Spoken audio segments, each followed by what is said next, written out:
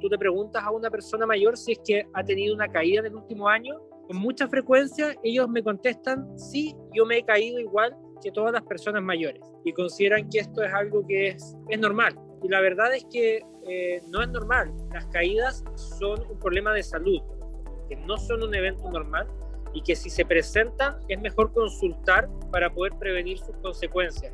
El entrenamiento que ayuda a prevenir caídas y que ayuda a tener mejores desenlaces funcionales en las personas mayores es el entrenamiento de fuerza. Y si uno se imagina el entrenamiento de fuerza ideal para el tren inferior, son las sentadillas. Entonces, por ejemplo, aquellos pacientes que están muy bien pueden hacer las sentadillas sin ninguna asistencia, sin ocupar brazos, solo poniéndose de pie, versus aquellas personas que tienen mayor déficit, que pueden hacer las sentadillas, por ejemplo, ocupando los apoyabrazos.